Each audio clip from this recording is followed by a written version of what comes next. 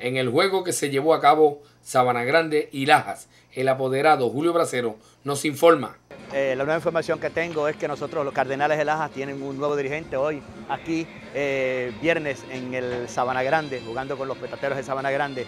Tenemos a William Lacour, nuestro nuevo dirigente, que va a estar encaminando este equipo, que de seguro vamos a estar en, en las finales y vamos a dar mucha candela en esta sesión de nosotros. Así que tenemos mucha esperanza en que Willy Lacour, por su experiencia, eche este equipo eh, para adelante y nosotros pues hagamos un excelente papel en esta área de, del béisbol.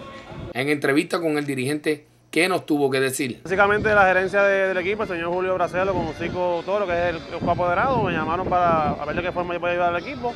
De visto bueno, dije que sí, que estamos dispuestos a, a aceptar el reto.